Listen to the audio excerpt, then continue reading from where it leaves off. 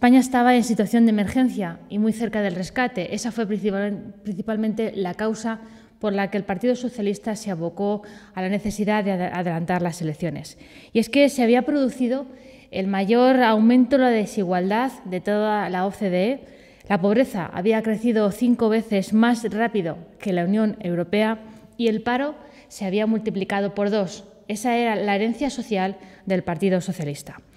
Las familias llevaban años soportando a sus espaldas el peso de la crisis. Y así las cosas con el gobierno de Mariano Rajoy y desde el minuto cero, desde el primer Consejo de Ministros, se puso en marcha una compleja y amplísima agenda reformista que pretendía devolver a España a la senda del crecimiento, garantizando, porque no es incompatible, al mismo tiempo el estado del bienestar.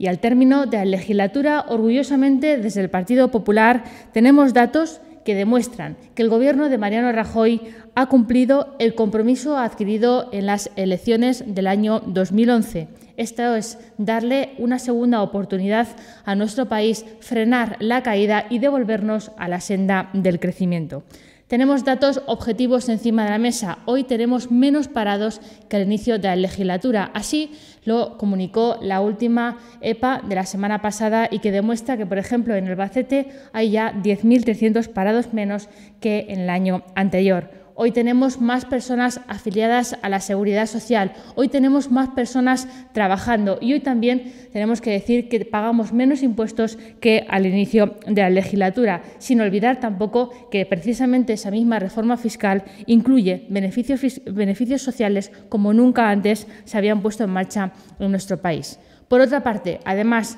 la recuperación del empleo está logrando que los hogares más, vulnerables consigan salir de su situación. Tan solo en el trimestre el número de hogares con todos sus miembros en paro se ha reducido en más de 84.000 según fuentes de la última EPA. Y es que hemos pasado de la recesión al crecimiento manteniendo, como digo, porque no es incompatible, los estados del bienestar sin dejar a nadie atrás, apostando siempre por el empleo como la mejor política social posible. Por eso, ahora que la economía está creciendo, ahora que se crea empleo gracias al esfuerzo de todos los ciudadanos, pero también gracias a la agenda reformista del Gobierno del Partido Popular, podemos decir que la agenda social del Partido Popular pretende estar aún más cerca con las familias y las personas que pueden encontrarse todavía en estos momentos en una difícil situación. Ese es el reto del Partido Popular y con ese objetivo se presenta también a las próximas elecciones. Sin embargo, el modelo económico socialista pues eh, tampoco tiene mucho que aportar a estas elecciones. Su modelo económico socialista pasa por disparar eh, el endeudamiento, lo que conlleva lógicamente a la destrucción de empleo y al aumento de pobreza,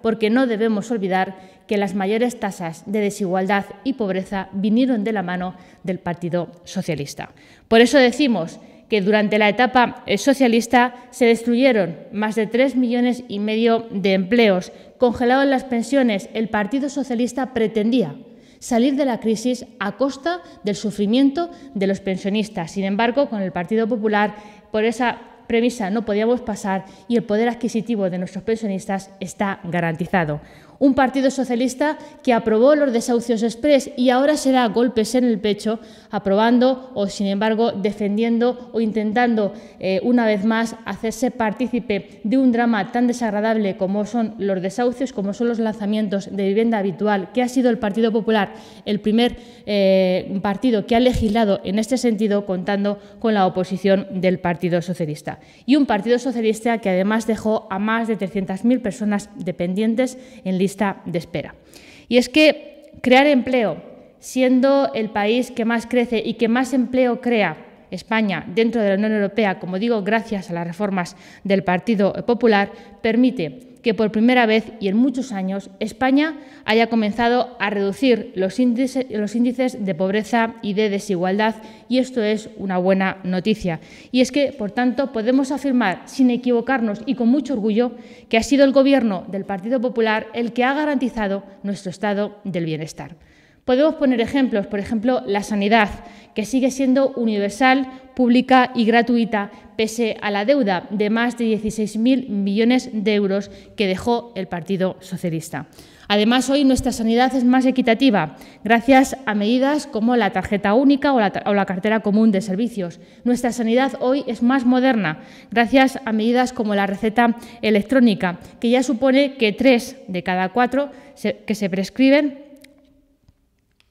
es más accesible para los ciudadanos y también es más justa porque los parados de larga duración no pagan por sus medicamentos cuando antes tenían que aportar un 40%. Parece ser que el Partido Socialista no había caído en esta medida tan social y tan demandada en los últimos tiempos. Hoy, desgraciadamente, y con modelos socialistas, y estoy hablando ya de la Junta de Comunidades de Castilla-La Mancha, volvemos a jugar con la sanidad, volvemos a crear falsas expectativas en torno a la sanidad y podemos recordar cómo esa propuesta que venía para el Albacete por parte del hoy presidente de la Junta de Comunidades, Emiliano García Paje, en cuanto a la construcción de un nuevo hospital en nuestra ciudad, se ha quedado simplemente en, en un proyecto de reestructuración del actual. Por tanto, una vez más se demuestra cómo el Partido Socialista juega con la sanidad, juega con las expectativas de los ciudadanos en materia sanitaria. En dependencia también tenemos un gran ejemplo de la buena gestión del Gobierno del Partido Popular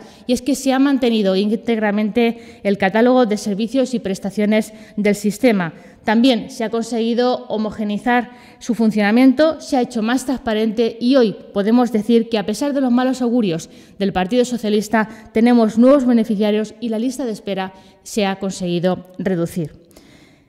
Tenemos que decir que se ha reforzado por parte del Gobierno del Partido Popular la lucha contra las desigualdades y la pobreza, aprobando ese Plan Nacional de Inclusión Social 2013-2016, dotado con más de 130.000 millones de euros puestos a disposición de quienes más lo necesitan. Las personas con discapacidad también han sido centro de actuación durante estos últimos cuatro años y así se les ha dotado de mayor independencia, autonomía y libertad tras la aprobación de la Ley General de Derechos de las Personas con Discapacidad.